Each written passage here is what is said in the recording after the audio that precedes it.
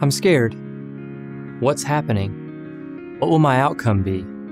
These are all things I hear from my patients. Hi, I'm Dr. Joseph Ibrahim, and I'm a trauma surgeon. While trauma and emergencies are frightening, I want you to know that not only am I here for you, but I understand your fears and questions in an emergency situation. I've been a trauma patient myself, having facial reconstruction surgery as a teen, so I know what it's like to walk in your shoes. And I have a son who required emergency surgery, so I can empathize with those of you watching a loved one go to the operating room. Although we might meet at one of the most trying times of your life, know that you're in good hands.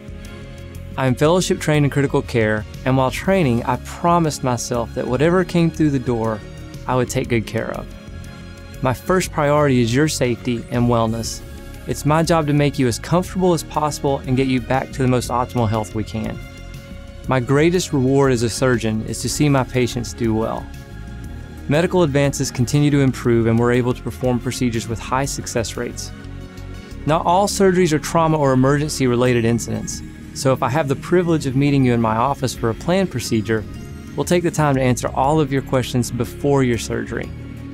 Wherever it is we meet, I'll take extraordinary care of you.